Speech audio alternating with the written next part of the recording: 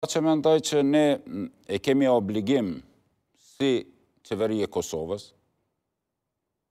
si vend që projektet që janë interes i Kosovës dhe që lidhen me shtetet e bashkura të Amerikës, jo t'i pranojmë në dam të Kosovës, dhe ai nuk ka qenë në dam të Kosovës, është një energji alternative, dhe tani, kur e kom dëgjue këtë zëvendëskryeministrin zoti Bislimin që thotë litër gaz, litër përmend diçka në mënyrë të langët, kur dihet se si ajo thotë ka mendu që është në shishe dhe duhet me ia pru Kosovës në shishe. Aty më ka, më ka donë me kuptuar me të vërtetë këta s'kanë përvojë.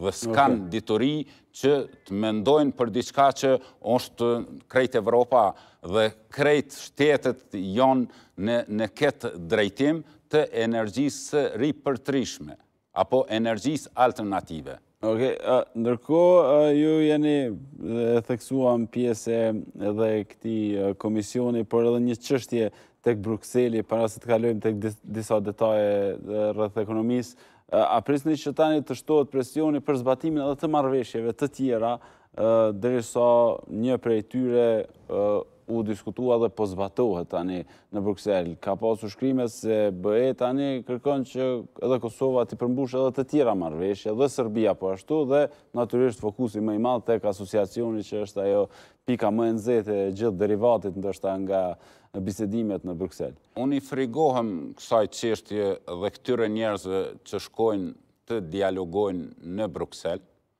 E tham me këtë arsye.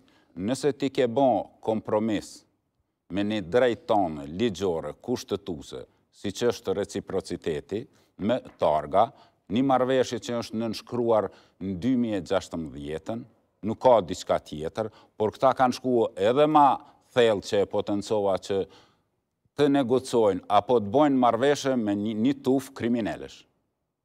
Dhe tani, me siguri çështja tjetër në rend të parë të bisedimeve në Bruksel do të jetë asociacioni i komunave me shumicë serbe, që do të krijohet një autonomi. Hapi i parë, mendoj i kësaj janë targat. Me KM, Kosovska Mitrovica. Nejse, dhe kjo, dhe kjo, janë ilegale. Jo, jo po. ilegale, por pse kanë të drejtë mu me lëviz në veri të Mitrovicës, ndërsa në jug mund t'ju hjeken tabelat. Do thotë, pe krijon një autonomi, pa ni ndonjë marrëveshje, vetëm me ketë veprim të damshëm për Kosovën.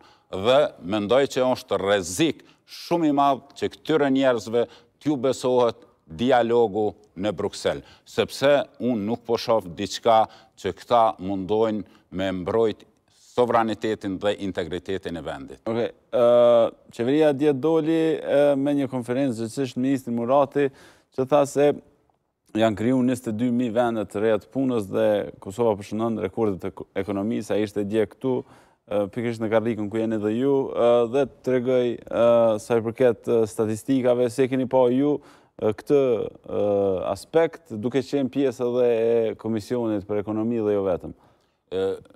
Sa i përket deklaratave këtyre ma, ne tani u mësum që edhe humbjet i shndërrojnë në fitore.